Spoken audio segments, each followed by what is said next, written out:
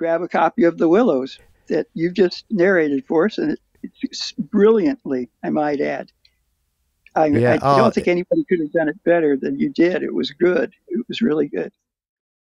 All my life, I have been strangely, vividly conscious of another region, not far removed from our own in one sense, yet wholly different in kind, where great things go on unceasingly, where immense and terrible personalities hurry by, intent on vast purposes compared to which earthly affairs, the rise and fall of nations, the destinies of empires, the fate of armies and continents, are all as dust in the balance. Vast purposes, I mean, that deal directly with the soul. Gary Adkins, how are things in Springfield, Illinois? Very, very good. Uh, it's a little bit overcast today. It's not a lovely day, but it doesn't have snow or extreme cold. It's kind of war- warm here for winter. In fact, we've had a good warm winter all, all the way, which I like, but kind of worries me. You know, big picture. yeah, yeah, it could mean that the uh, every year. That the, the yeah. yeah. Yeah, it's not it's not good. It is nice, but it's not good. The thing is having having been a visitor as a tourist to Springfield, Illinois, I can tell you that if anyone's fancying visiting, it's not the kind of town that really does need excellent weather to make it cool. It's just a cool little place. It's uh, I like it. Um, uh, That's I true. Really it's more like of a, you know, it's a nice little uh, town for um, public, you know, bars and things like that, meet restaurants, and it's, it's, a nice place to get together with friends. And, it's also you know, think, the ho- the home of Abraham Lincoln and I'm sorry, what you were going to what were you going to say? You were going to say getting together oh, with I, friends? I, I, was just going to say um, I did that for for the Super Bowl, and uh, you know I I love that. I love that. I mean, I had some couple of shots of of your best uh, scotch over there. Glenlivet is one of my favorite things, and I had a little of that. And the Super Bowl was just super as a result. Not a huge football fan. More. So where more did baseball. you watch it? I watched it at a little bar, uh, neighborhood bar called the um, Barrel Head.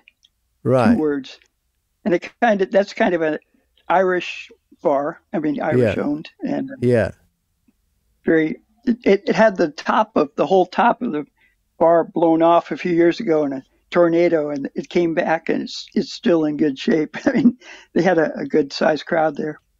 The the bar was full, on. was it? The bar was full. Yeah, and and they were rooting in on different directions. One side was rooting for, you know, Philadelphia. Yeah. they were disappointed, I'm afraid, but Kansas City did play really better overall. I mean, so you would have had a good atmosphere in there with people rooting for both sides. Yeah, and it, and yet it was friendly because a lot of them were. This was their second favorite team they were rooting for, and yeah. instead of the Packers or the Bears, which would have been the usual in, in Springfield. It's, it's interesting because I used to go to radio conventions twice a year to the United States and, and went on various road trips. Because what I used to do is, instead of flying to the city where the convention was, I would fly to a city miles away and drive to the convention. And um, so, for instance, if the if the convention was in New Orleans, I would fly to Memphis and then drive to New Orleans through Mississippi, you know, or or the one when I went to Springfield, actually, the convention was in Chicago. So once again, I flew to Memphis and drove north. Um, that's and, the and went to it. Yeah, that's yeah. Uh, that's that's because America is great for road trips. I find because the roads are wide and you don't have roundabouts and all the cars are automatic. Yeah. it's actually quite good. Even, in, even, in, Illinois, in central Illinois, it's, it's not crowded either. The roads are really, really pretty wide open, so you you could go as, as fast as you want. yeah, well, we even sorry, we even you know ventured onto old Route 66 at one point on that one because it, it, goes you know yes, through that's there. a great idea. You know, there are some businesses that are originating from Route 66, which went through Springfield. Um, like there's a Cozy Dog Drive-In where the corn dog was invented. The, the wow. inventor of the corn dog opened yeah. that business. It's still in business. It's, it's still it's there. Cool place to go. For. Oh yeah. no, we missed that. See, this... as a kid. Yeah. It was a Dairy Queen. It used to have uh, ice cream, you know, uh, soft serve ice cream, and and I just loved it. It was uh, hot fudge was my favorite thing in those days. So, I mean, so I've got to go back and, and, do that. But uh, getting back to yeah. the Super Bowl, on one of the trips, it was it was actually that one when we when we drove north and went through um, Springfield. Is we were in Memphis on Super Bowl Sunday. And so I said to Julie, well, let's go out to. Uh, it was the one, I forget who the teams were playing, but it was the one where the Rolling Stones were the halftime show. I don't remember oh, I that. remember one. that, yeah. Right, it was that yeah. one. And um, so we went to this sports bar about 10 minutes before it kicked off. And it was empty. There was literally three people in there. And it wasn't far off Beale Street. It was right in Memphis. And I'm like, what the hell's going on here? So we ended up watching it at the bar in the hotel, and there was a reasonable crowd in the hotel, and it was really good. And there was people there could tell us what was going on because we didn't understand all the rules, and it was fine. And I said to these people, I said, "Well, why is the sports bar like two blocks from here? Wouldn't that shouldn't this be one of their biggest nights of the year? What's the deal?" And they said, "Well." I don't know about anywhere else in the US, but in the South there, Super Bowl Sunday is a family day and people watch it with their families at home. And so it's not necessarily a sports bar thing. So obviously you were in an Irish pub, so you did all right. But then all of a sudden it made sense to me when it when I realized it was a family thing, why the Janet Jackson wardrobe malfunction was such a big deal in America. Because if people yeah, are with right. their families and that goes on, because, you know, I think right. like if well, that happened at half time at a soccer game here and a night game, I don't think it'd be a big deal at all. It'd be talking point, yeah. but it wouldn't a lot like of parties. A lot of parties taking place in the north, at, at least in you know this part of the country. You yeah, know, people hold parties at their house, or they go meet at a bar for you know to party, which Yeah. I, I prefer because then nobody has to serve you. I mean, you you know, none of the guests have to yeah, yeah. do any work. You can all just yeah sit back Yeah. on the bar stool. Plus, you haven't got family members there that are going to cause an issue over something else that you did when you were 12 or something. You know, they can't bring Yes, that up. Exactly. got- they haven't got the background as on great you. as that is, it's although that's part of the joy of Christmas. It's it's something you don't want to replicate throughout the year. we Yeah. just got through that, and we, we Especially when you just want to enjoy the game. Yeah, yeah. Yeah, exactly. exactly. And it was a really big screen. That's the other thing they've got at that place, and it's a common thing in sports bars up around the world. I'm sure is a, a huge screen, and it's like watching a movie. You, you can see Yeah. every detail of, and that's Yeah. why I, I got down on the refs. Uh, you know about this terrible call that, that keeps happening, where you have to go to the ground with the ball and, and retain possession. If you make the catch in the end zone, you know it doesn't matter if in in running the ball into the end zone, as soon as the ball crosses the plane of the goal line, it's a touchdown. But in you know catching it, they have a completely different rule for that. Yeah, that So if a guy any sense. catches it in the air and he drops down and, and falls to the ground, then that's not a touchdown. He has to catch it cleanly. It Is that isn't. the deal? He has to catch it and hold on to and maintain possession.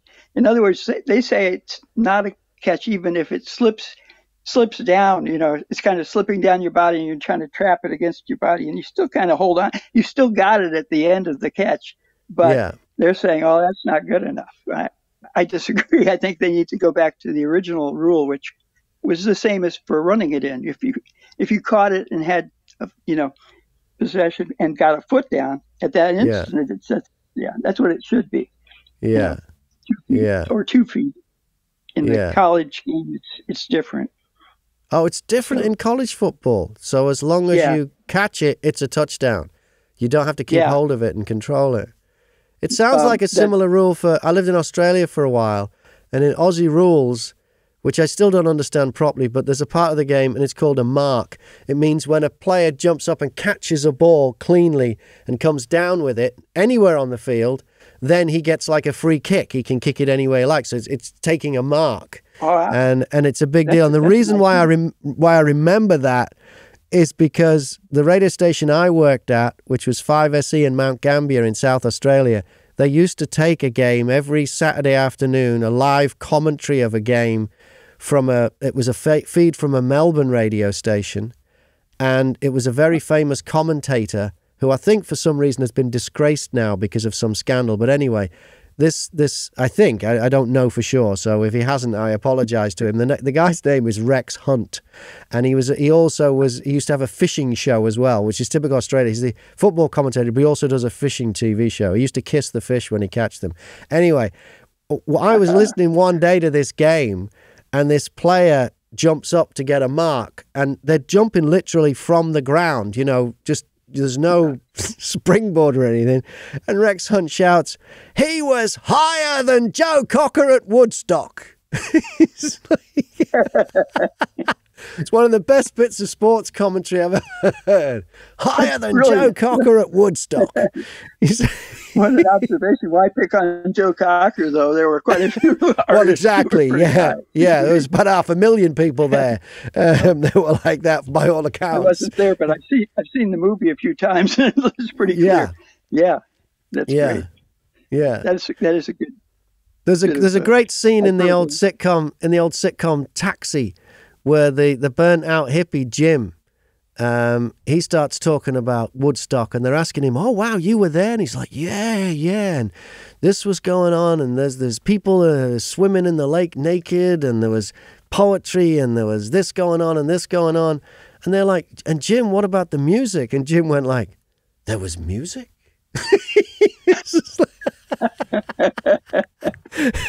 That's pretty good. Oh dear, it's so good. That is good. Yeah. Okay, yeah. so and, and so Springfield, home of um, Abraham Lincoln. So I went to his tomb when I visited, but I didn't go to his home. But you you worked in Abe's old home, didn't you? Tell me yeah, about I, that. I regret it. I I forgot to bring that up the last time I was on your show. Uh, he, you know, he, there are things in the house of him, like uh, the death mask, and in the kitchen of all places. Wow. That's in the kitchen and also uh, uh, there's a plaster bust of his hand, you know, in death with holding a um, object. I think probably to to make it easier to extract the hand the hand mold. But anyway, uh, also his hat is one of his. I think he only had three or four of those, you know, stovepipe hats. Well, that's in there too. So, and that's just around the corner from where I was. I was installing carpeting with my father. My father did this pretty regularly because they get over a million visitors a year in the house. So, so the main traffic area has a carpet that has to be re- replaced pretty good, which is good. Good for me because I got to actually work in there with no one in there. They gave us the keys and we went in there, you know, the two of us to install the carpeting. And in while in there, I did see something out of the corner of my eye, just just around the corner into the kitchen. I I saw a movement, and I could have sworn it was Abraham Lincoln. It looked it looked, but of course I'm I'm an imaginative guy. Imagination is is my game now. Yeah. Anyway. But that's cool um, though. But, Honest Abe could have been just saying, "Okay, nice carpet, thank you, boys, like it." Yeah, and there's a there's a famous poem by Vachel Lindsay, who's from Springfield, that uh, was about Abraham Lincoln walks at midnight, and he was actually basing that on his own, you know, observation that he had seen a fig a Lincoln figure walking, you know, and he lives very close to where Lincoln's home is, and actually right across from the governor's mansion is is was the Vachel Lindsay house, and it's still there. It's a house that Lincoln visited quite often because it, it was a relative's house, right? Like his uh, brother-in-law's house. Wow. And so anyway, yeah, kind of cool. so, I, so I this ha- having this kind of imagination and this fascination is this is this why you are putting out classic ghost stories as books these days? Is there is there any connection I think I was, there? I, I think I was already uh, liking that kind of tale, but I think it only encouraged me to go further down that road. Yes. Uh, yeah. And I like this TV show called Ghosts from Britain. Okay. That you, Yeah. I like the Brit, the British version. They have an American version of the same series, Yeah. not as good. Yeah, but it's Is that great. the Actually, one- the BBC's behind that too. Is that the Go one with ahead. Derek Acorah, or is that that's an older one? I'm thinking I might be thinking of it. No, of a I think that's one. an older one. Yeah, Okay, but- right. it's it's good stuff. And actually, Yeah. I do think I don't think that our energy ever goes away when we die. I think there's got there's bound to be some some place it goes, whether into a multiverse, the next universe, or over or something. But I mean, I just do feel that that's that only makes sense. It doesn't, you know, everything in the universe is it's known basic law of physics that energy continues. It it can't Yeah, be it can't be destroyed. destroyed. You can't- No, it only changes its No. form, doesn't it? Yeah. Yeah. Yes. So Yeah. I'm just saying that that's a physical explanation for it, but I think there is a metaphysical one as well. So Yeah. something to Well- chew on. But we yeah, I've got a book, a couple books out of ghost stories now that are actually not mine. I'm just No, but to get- you've you've um you've condensed them and yes, I condense them and try to put them into a, a good form for an audiobook. And well they none they more so than the Willows are. well our the willows together, we did- is, is is a wonderful book that we've it's the second audiobook we've done together it's by algernon blackwood um A great broadcaster, I might add. Yes, and I found that I, I didn't know, but I've since I've since done some research, and he was uh, he was a BBC radio broadcaster and narrator too. Back before there were audiobooks, he was reading books on the radio, and he's wonderful. Yeah, that's right. Yeah, He, he is. And uh, I encourage everyone to find out more about him and actually, you know, get some of those old recordings and listen to them. Or the more inexpensive way to do this would be to grab a copy of The Willows that you've just narrated for us, and it's brilliantly, I might add. I, Yeah, I, I uh, don't think anybody could have done it better than you did. It was good. It was really good.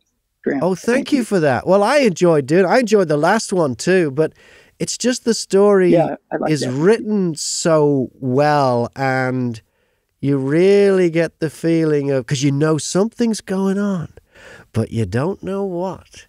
You know these these That's- guys are out there, they're they're camping, and but there's something going on, and uh, Yeah. it really is well put together. And I know you know, a lot of that is Algernon Blackwood, but some of it's got to be a bit of you as well, Gary, because you're condensing it and, and bringing the bits to life that you want. Yeah. Well, I was an editor for 30 some years in the newsletters uh, for the School Board Association, Illinois Schools, public schools, um, which are the opposite of public schools in your country, yes. you know, Yeah. as Yeah. far as what they are. I'm just trying to clarify that. But anyway, I, I think, you know, I, I care about what other people write as much as I write what I write myself, if, if more actually, because I mean, there's a lot more good stuff out there, and I love that particular story. It's it's one of the best in the English language, and actually, um, a famous horror writer, H.P. Lovecraft, said it is the best supernatural story in in English, as far as he knows. The Willows is. He wrote a Yeah. thesis. Yeah, he wrote a long thesis about the horror and the supernatural, um, and what makes it work in literature.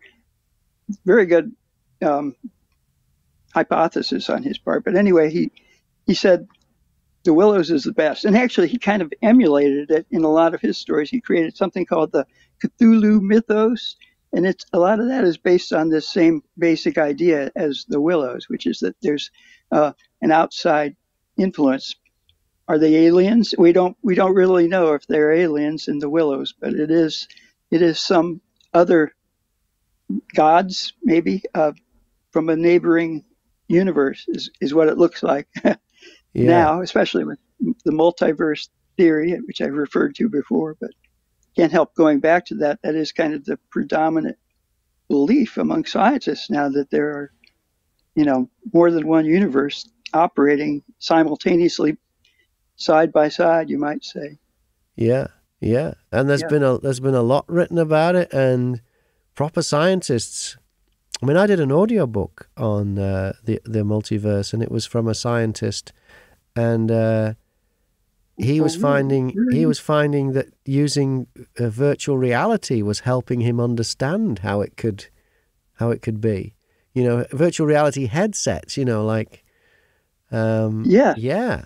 So so these mean, that- so these books now then. I mean, how they'd be just as relevant now as when it was written, The Willows, wouldn't it? Then, just as it would be more so, probably more so. I mean, it, because of that, because the, there is a, an explanation to it all uh, a little bit now.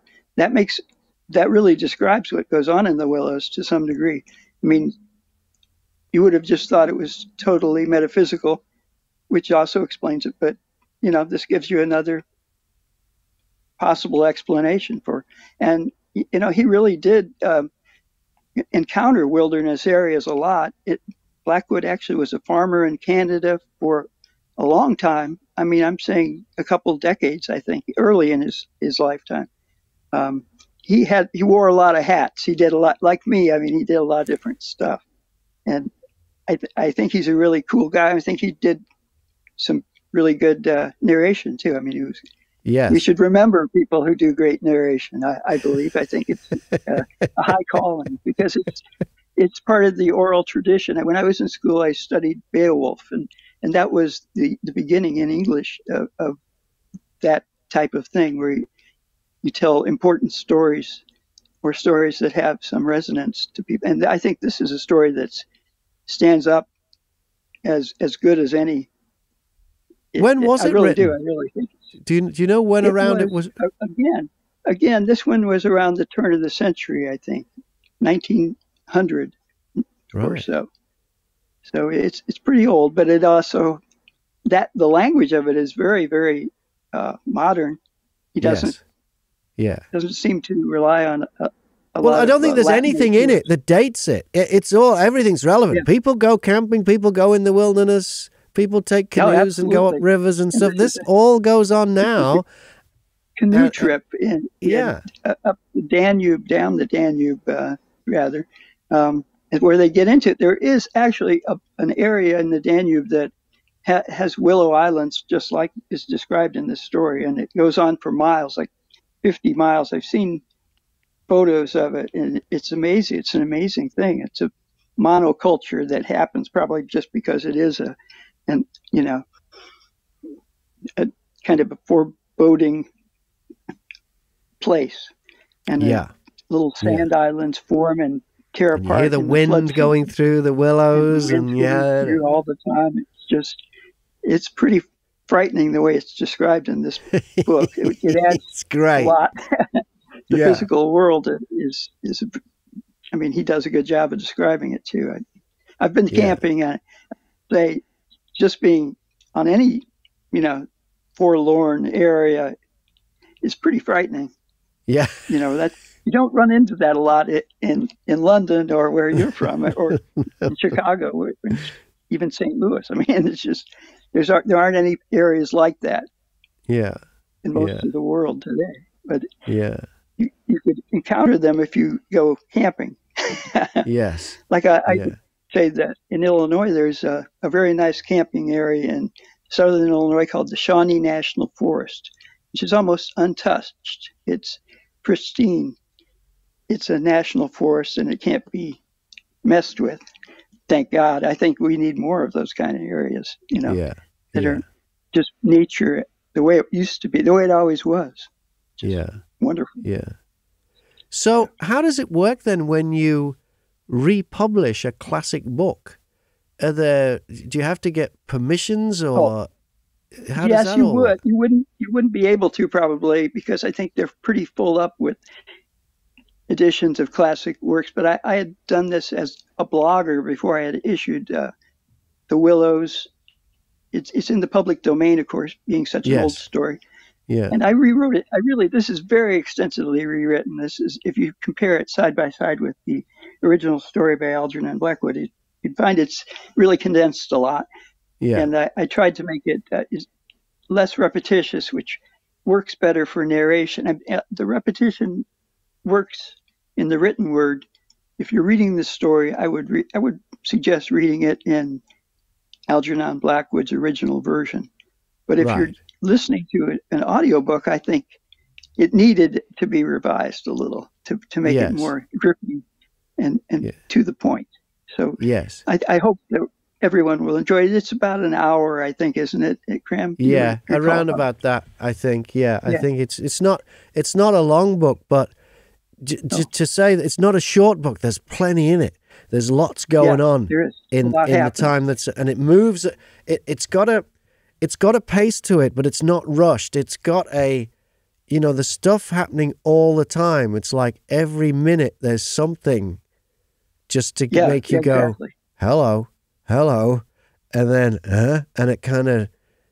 I, I felt Yeah, I myself reading it. I felt myself being drawn towards it, if that makes sense. Yeah, I- I don't want to give any of it away, but I do No, I think don't wanna do it's. Uh, uh, but but I do think it, it's just full of, of amazing, amazing happenings. You wouldn't expect. You wouldn't really expect any of this stuff because it's, not mundane. It's it's otherworldly. You're, you're definitely facing the next world. You're you're facing something that is from beyond this earth. Yeah, it's And- great. It's called The Willows. It's by Algernon Blackwood. It's condensed by Gary Adkins. Or there's links in the description. If you're watching this on YouTube, I'll put links in the description. I mean, I'm pointing to my website there, but actually in the description uh, on YouTube, there's links there to Amazon to uh, to download uh, the audio book. I, So I do encourage everyone to, to at least listen to the that you get a free uh, you know go to the Amazon site and listen to the the, the little sample. It gives you like five minutes of it, I think, and it, you'll Yeah. enjoy that, I think. And then you'll see if it's to your taste. That's my advice. yeah, and check it out. Well, well, Yeah. thank you very much, Gary. What's next for you then? Yes. What are, what are you what are you working on now? I just I've got a couple things. One thing is I got my novel I wrote when I was in my 20s, and I've decided that it's a horror story about it's called The Horror at Creal Springs. Creal Springs is a real town in southern Illinois, and it, it takes place there, but it's an imaginative uh, little horror story. So I think people will enjoy that. But I've, right now, I just had it. Uh, oh, I xeroxed the copy to make it a little more white versus black on the page because it's kind of yellowed. it was one of those, you know, it's in your desk drawer. It's been around for a while. Wow. Yeah, Yeah. yeah. and I'm going to bring that and put it online because I really wanted to get it published originally, but it was very difficult to break in as an unknown writer in those days. So I got discouraged, like most people, and I put it away. But I, I actually had an agent for a while. I mean, I was close. I was this close to uh, to getting it done then, and I'm going to get it done because I, luckily now anyone could publish a novel without too much trouble yeah. by going With independent Amazon. publishing the way it is, it's a level playing field now. Yeah. It is, and I think that's how it probably was back in the you know 18th century. I think there were it was fairly easy to get a book published because you know there there were a lot of publishers and there weren't as many people who were you know literate and may, maybe capable of writing something.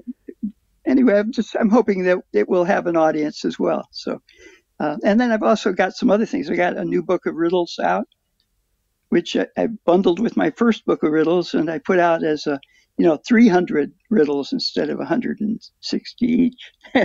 and actually, that's doing better. I, I think that's the length that is more embraced. So if you have a What kid the who wants- bundle? The bundle is doing better than the. So how was it? Was it a bundle of books? Is is that how it worked? yeah, it's a bundle of two books under one cover uh, Yeah. instead of um, half the size. I thought it was after I did the first one. I thought this is too, you know, slim, and it doesn't really compete well with the other books in this genre. So let's put out 300, which is a pretty common, you know, number of riddles for a riddle book. Yeah. Everyone who has a child who they want who's bright and wants to develop their brain power, this is supposed to be one of the best things you could do is to play riddles with them.